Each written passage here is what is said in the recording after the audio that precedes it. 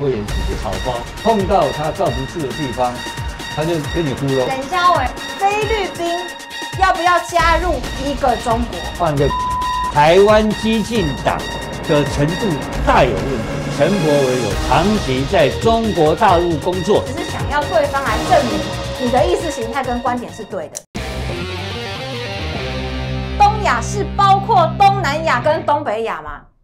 东亚包括东亚对对呀，这个是对的。陈明通东亚说这包括，如果以泛东亚来讲的话，就是这个 Pan Asia 是包括英文叫 Pan Asia，就是东亚洲了啊，东亚跟东北亚，东南亚、东东北亚。其实陈明通他很无奈，他说：“委员，既然你已经把东亚分成东北亚跟东南亚，那东亚当然包含东北亚跟东南亚，对对对就是废话，对这个废话啊。废话嘛。好，OK 然后呢，他就说：“哎、可是这个台湾的地理位置、经贸关系，你觉得比较偏向东北亚或东南亚？”那陈明通就说：“哎、我们都很重要，我们是介在东北亚跟东南亚之间的一个枢纽。其实这个国中地理我们都有教哈。然后他就说：“所以我们是东东亚吗？” 什么叫东东亚？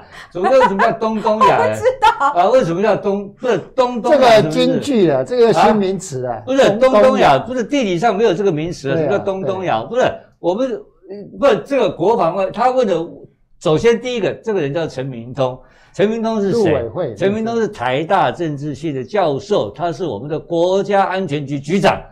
今天那么严肃的一个咨询，他问他我们的地理上地理课，上地理课也没有关系，因为我刚刚提到了，我们可以谈东亚，可以谈这个所所谓的亚洲的这个亚洲的这个所谓的印太的战略里面，当然有一些地理位置的问题了。可是为什么变成个东东亚是什么意思？他就是自己觉得这样子很幽默、很有趣嘛。可是陈明通幽默还是无知，这两个不一样哦。我觉得有这个，其实我们问政本来就不会这样子水问，因为你会直接切入正题，你这样子就有一点在那个拖时间拖时间。很珍贵。我们我们时间问政啊，懂意思了时间都很宝所以贵。你怀疑他是因为没有内容，他草包，所以故意来搞一个拖时间的问题。对啊，你那认为是这样？因为因为这个。因为我们这我是媒体人哈、我跟华董都不懂这个东西。因为那巧心是这个优秀的这个这个民意代表，所以你们每一个宝贵的时间都不断的非在在在咨询你们的首长嘛，对不对？对，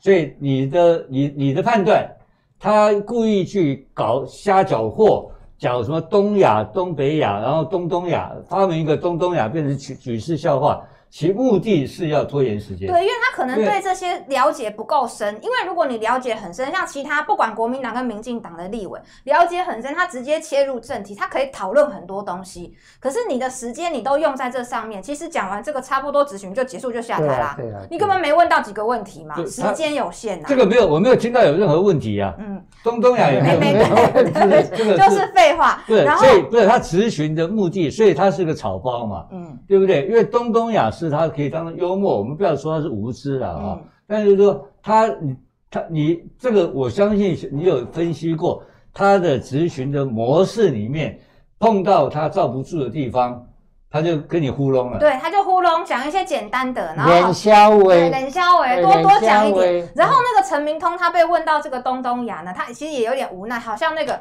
他真的是老师哈，嗯他就说，如果我们台湾有手的话，我们就一手是在东北亚，一手是在东南亚，我们在中心，再给他教教国中地理课。哎，你看看我们的这个局长多好当，好，就是碰到这样子的立法委员很好当嘛轻。松过关对，。轻松过关，跟他分享一些国中地理的等级嗯。啊，那点后啊，就是这样子。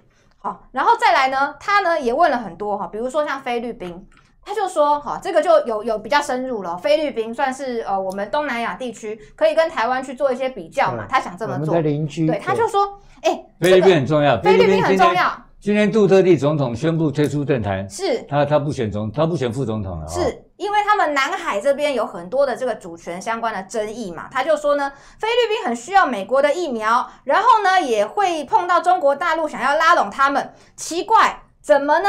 呃，没有人讨论过菲律宾要不要加入一个中国。啊，他问说，我们有没有讨论过菲律宾为什么不是一个中国，菲律宾为什么不要加入一个中国？然后真 真真外这是不交部司长。是该这吃药？是谁？他是问谁？外交部的司长曾瑞丽，他问外交部的司长说：“菲律宾为什么不要加入一个中国？”对，为什么那外交部，那外交部司长怎么？他说：“我的了解应该是没有啦。我跟你讲，所有的官员回答他都呼隆呼隆就过去。他就说我的了解应该是没有。陈柏威就说应该是没有吧。然后呢，这个司长说呃没有。然后呢，他就说，所以台湾如果有人讨论这件事情，你会不会觉得怪怪的？曾曾司长说，委员，抱歉，你的意思是就是人家没有办法。我来帮他回答，我来帮我来帮陈，我来帮 Thank you 回答这个问题。他他来问外交部的司长说，台菲律宾为什么不是没有加入一个中国？